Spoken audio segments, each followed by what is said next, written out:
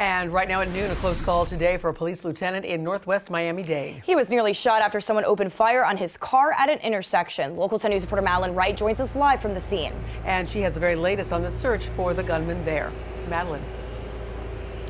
Christy Janice, it was a scary situation. That Miami Dade police lieutenant narrowly avoided being shot after someone started opening fire on his vehicle right here at this intersection.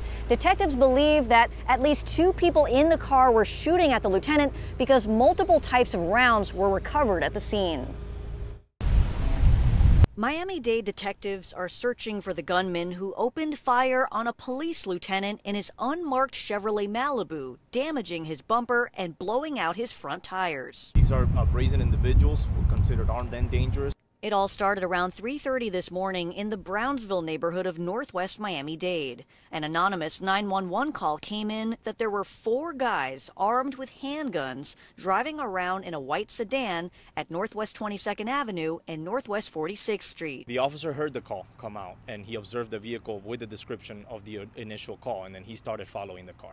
Once they turned on 24th Avenue and approaching 48th Street, uh, this vehicle immediately began firing at the officer's direction.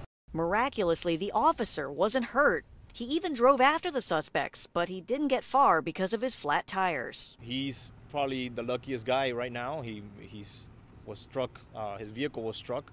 There was multiple rounds on the floor. Um, this, this, again, we could have been uh, preparing a funeral right now for this officer. The shooting happened right next to Brownsville Middle School, where students heading to class this morning are just finding out about it. They should like stop the violence, cause he could have he could have got like hurt or something. And I think like that's crazy, cause like, it's right by my school too. The school I go to every day.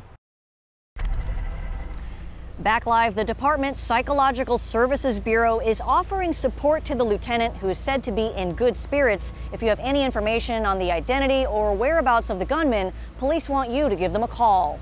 Live in Northwest Miami-Dade, Madeline Wright, Local 10 News.